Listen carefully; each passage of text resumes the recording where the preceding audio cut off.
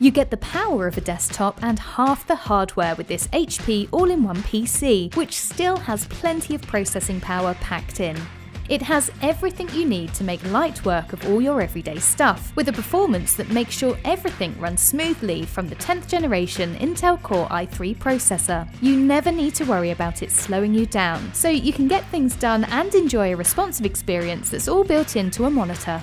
You can do loads of stuff without a single click of the mouse, with more than 50,000 skills available through voice controls via Amazon Alexa. The big screen feels even bigger thanks to its narrow bezels, which are stripped back to give you more of the Full HD display to enjoy.